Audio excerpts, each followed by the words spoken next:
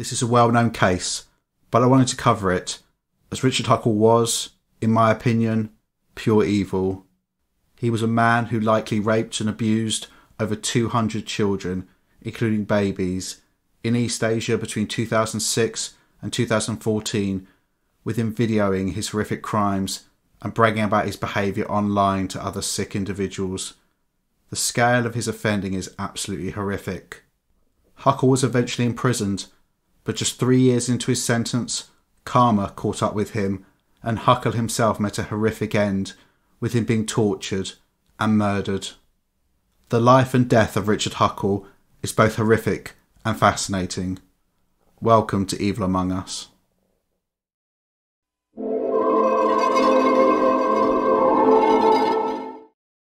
Richard Huckle was born on the 14th of May 1986 in Ashford, in Kent, in the UK. There are no reports of issues in Huckle's childhood in terms of abuse or neglect, but it appears that he was described as a quiet individual and a quote, bit of a loner by people who knew him, but generally he was considered to be inoffensive. However, as I've covered on many occasions, pure evil doesn't wear a sign. These people don't have horns, they look perfectly ordinary. At the age of 16, Huckle took part in a month long expedition to visit a school in Namibia, South Africa. He then returned to the UK and planned to take his gap year in East Asia.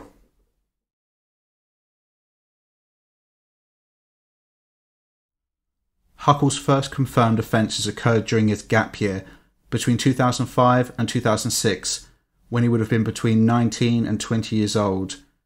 During this time, he travelled to East Asia and volunteered as a helper at orphanages and schools. In March 2006, Huckle kidnapped and raped two sisters, aged four and six, while he was in Cambodia. Later that same year, Huckle moved to Malaysia and raped at least one child, a five year old girl, and this was a victim that he'd repeatedly target for the next seven years until she was 12 years old. Huckle returned to Malaysia in 2007 and raped a three year old girl. He again repeatedly victimised this child over the years until she was 10 years old. In between trips to Malaysia, Huckle would return to the UK and complete qualifications to help him gain access to children, including a certificate to enable him to teach English as a second language. Huckle also presented himself as a freelance photographer, so he could go freely to orphanages and schools, as well as impoverished communities, in order to, he claimed, raise awareness of the plight of the children and to promote the organisations that taught and housed them. Huckle would, over the years, switch between his different personas as the situation necessitated in order to gain access to children. He would present himself as a photographer to gain access to orphanages, or claim he was an English teacher in order to gain access to children in schools, or to gain access to people's homes. In 2011, Huckle moved permanently to Kuala Lumpur, Malaysia, and it appears his relocation allowed him to commit to his paedophilia on a full time basis. Huckle would gain the trust of organisations and families he targeted by presenting himself as a Christian who was just there to do good work to help others. Once he gained their trust, he would find ways to be alone with the children, including taking them on days out, teaching them English, and teaching them photography. He would get some of his victims to introduce him to their child friends and would abuse multiple children in a single household. In 2013, Richard Huckle travelled to an orphanage in India, as shown by the picture here. There are no reports of him molesting any children at this orphanage. However, messages he posted online suggest otherwise. This will be returned to later. Huckle would score his abuse in a sickening ledger where he would give himself points based on the age of the child and the seriousness of the sexual abuse. It was from this scorecard that investigators put his total number of victims between 2006 and 2014 at between 191 and in excess of 200 children. Huckle would film many of his assaults, including one where he raped a baby, estimated to be six months old, who was seen wearing a nappy in the video. Huckle would rape and abuse children anywhere between the ages of approximately six months up until 12 years old, although the majority of his victims appear to have been between 4 and 10 years old. As well as acts of sexual violence, Huckle would also film himself degrading his victims, including urinating on the children. Huckle would also get the children to pose for him so he could take indecent photographs. In total, 20,000 images and films of Huckle's abuse were recovered from his electronic devices, but this was only what authorities could access.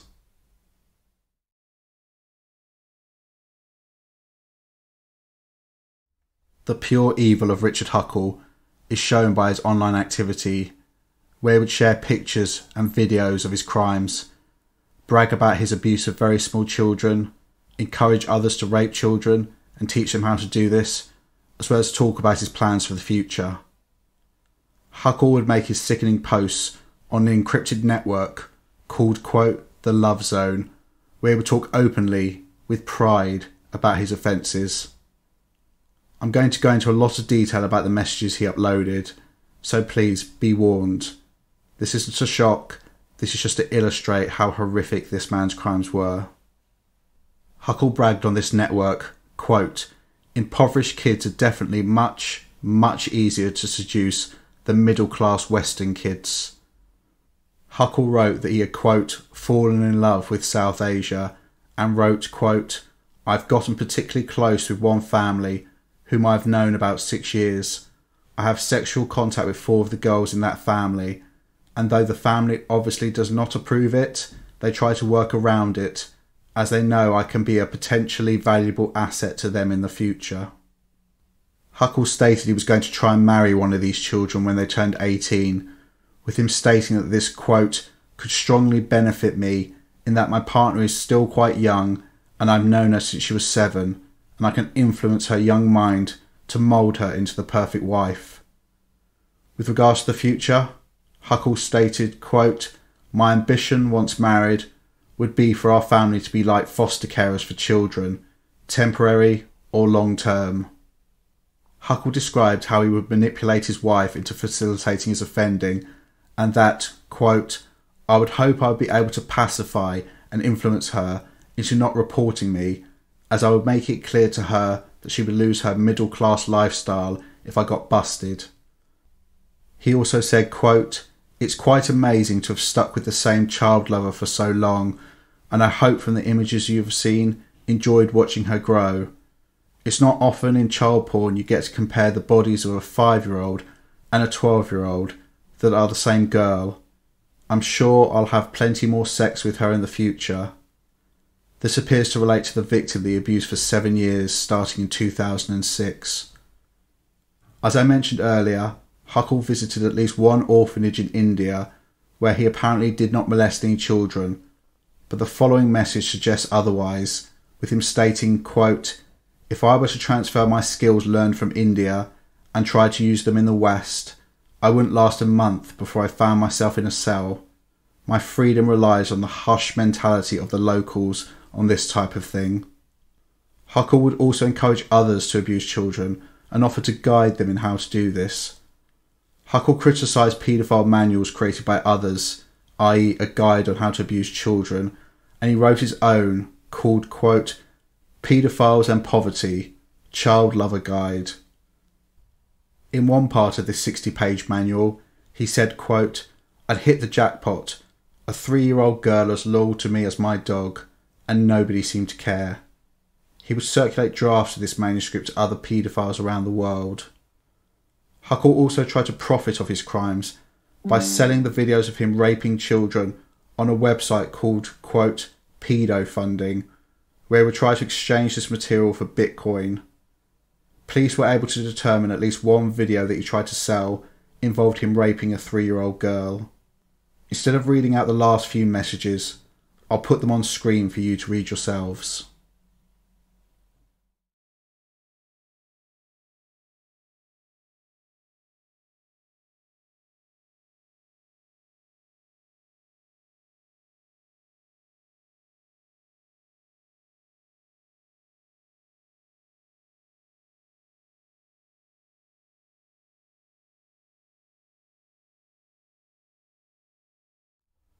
Whilst Huckle was eventually arrested by officers from the British National Crime Agency, it was the diligent work of the Australian Federal Police which eventually led to his downfall. In June 2014, officers from the Australian force Argos were tasked with stopping so called quote paedophilia tourism and had uncovered an intrinsic world where Western paedophiles could help each other identify children to abuse and how to achieve this. By this time, the task force had honed in on an Australian care worker called Shannon McCoole, who they believed was a key player in the love zone, acting as a site operator. When they arrested him, McCoole was actually signed into the network, and officers jumped at this opportunity and took on his identity to infiltrate this group. This enabled them to gather evidence against approximately 1,000 paedophiles across the world, with them providing intelligence to the various local law enforcement agencies, and this included passing information about Richard Huckle to the British National Crime Agency.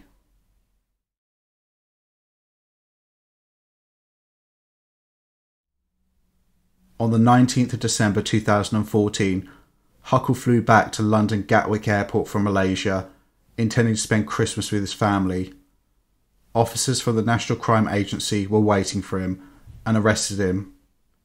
They questioned Huckle, but he was uncooperative. I don't have a video of the police interview, but given that he answered no comment to all questions, it probably wouldn't add very much. Huckle was bailed to stay at his parents' house whilst the police made further inquiries, with them seizing his laptop for analysis. The next day, Huckle got drunk and was confronted by his parents. He then admitted to raping multiple children, some as young as three years old. To their credit, his family promptly kicked him out of the house and phoned the police, begging them to rearrest him and take him into custody, which they did, with him being held in prison until his court appearances.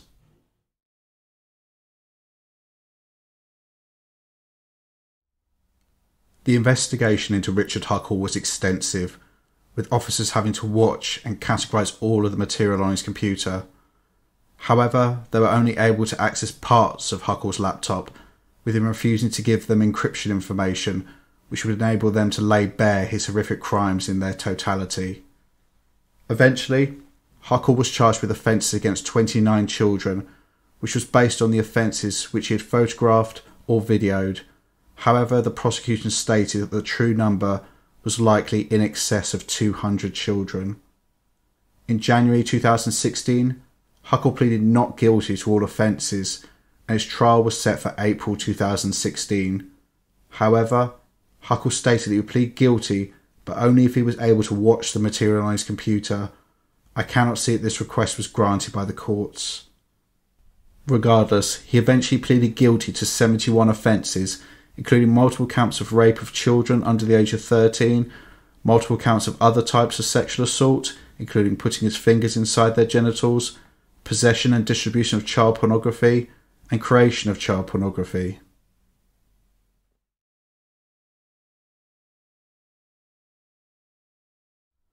Richard Huckle's sentence was set to occur between the 1st of June 2016 until the 3rd of June 2016 at the Old Bailey in London, with the court needing almost two days simply to go through all of the offences he committed. During these hearings, Huckle's lawyer read out a statement from him where he tried to blame his crimes on his immaturity. The statement read, quote, I really understand and acknowledge the true scale of damage it caused to the Malaysian community. I had hoped to escape this mundane life of solitude in the UK, yet was overwhelmed by the attention I received in Malaysia I completely misjudged the affections I received from these children. My low self esteem and lack of confidence with women was no excuse for me to use these children as an outlet. I am open and eager to rehabilitate from this offending behaviour. I don't want to become a martyr to sex tourism in Malaysia. This was all my doing as a consequence of my immaturity, and I'm truly remorseful. Huckle had both a report from a psychiatrist and a pre sentence report from probation, and both indicated that Huckle minimised his offending and blamed his actions on external factors. With the psychiatrist in particular, Huckle did not seem to grasp the seriousness of his situation, with him stating that he wanted to, quote, put all the madness behind me and to marry a woman who he could settle down with. Eventually, on the 3rd of June 2016, the presiding judge, Peter Rook KC, delivered his sentencing remarks. He stated, quote, Relentlessly you preyed upon the very young, prepubescent, vulnerable children from a minority ethnic community into which you ingratiated yourself. This was a prolonged campaign of rape of the children from a small community. He described the manuscript that Huckle produced to help others abuse children as a quote, truly evil document. Whilst the judge was speaking, Huckle was in the dock, apparently with his hands in prayer. The judge also said, quote, You were and are sexually obsessed with children. You have spent years abusing them. In one of your postings, you stated that you had become consumed by your paedophilia. It's clear from your postings on hidden encrypted paedophile websites on the dark web and from the manual you were in the process of drafting that your life revolved around your obsession with your own sexual gratification by child sex abuse.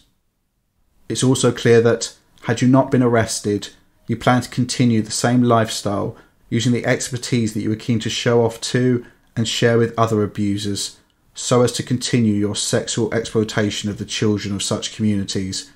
You even spoke of embarking on a sham marriage to give you access to foster children. The judge then sentenced him. Richard Huckle was sentenced to life imprisonment with a minimum tariff of 23 years before he could apply for parole. The sentence was considered unduly lenient by many, with many questioning why Huckle was not being sent to prison for the rest of his life. However, little did everyone know, he actually was.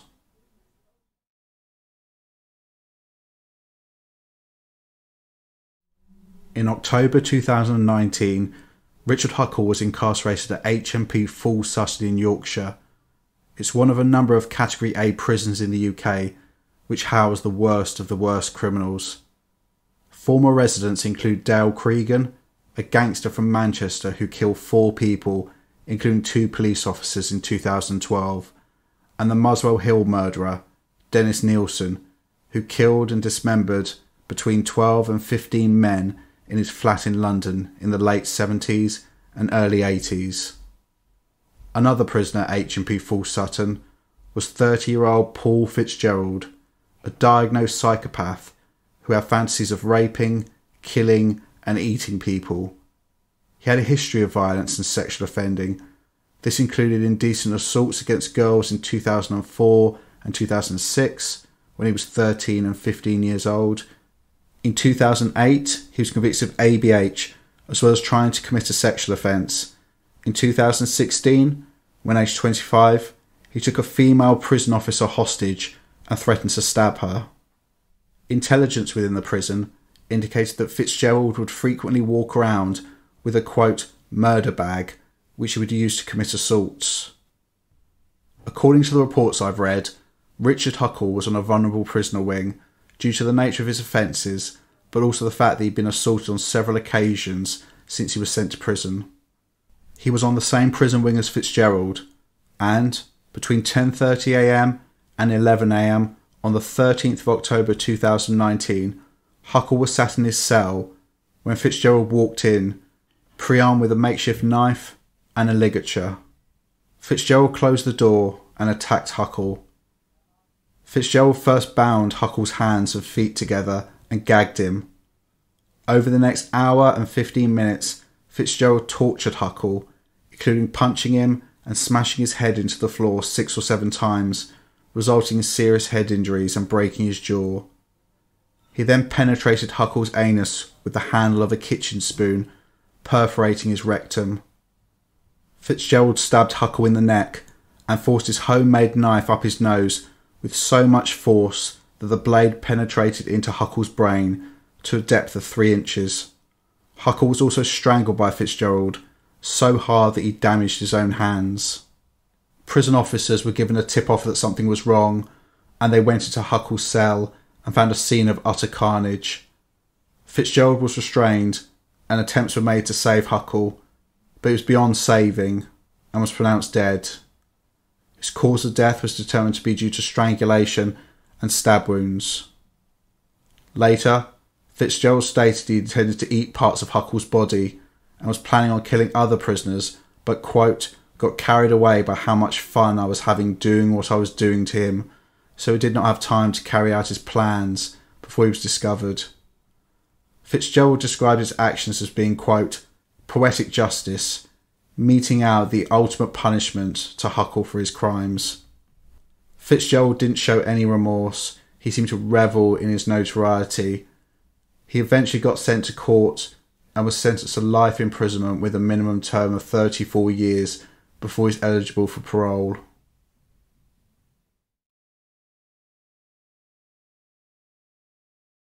So, that's the life, crimes, and death of Richard Huckle. I now want to look at a profile of him. This is going to be quite long, but I think it needs to be because of how evil this man was. So, where to start with Richard Huckle? I use the term evil in a lot of my videos, but in my opinion, he is at the top end of the scale of evil. Murder is horrific, but I think there's something so profoundly damaging and monstrous about those who sexually abuse children. It takes their natural trust in adults and destroys it. I have never met anyone who was sexually abused as a child who does not bear the scars of this violation. These people often have low or even no self esteem, PTSD, and other mental health issues, issues with alcohol and drugs, significant problems in their intimate relationships, including difficulties with intimacy, and commonly going from abusive relationship to abusive relationship with them believing that's all they deserve. This type of abuse destroys lives, and given the nature of the victim in the case of Huckle, it could lead to 50, 60, 70 years of suffering. This is what Richard Huckle created for each and every one of the children, all to get his sick kicks and to gain the approval of other deviant predators he was connected to online.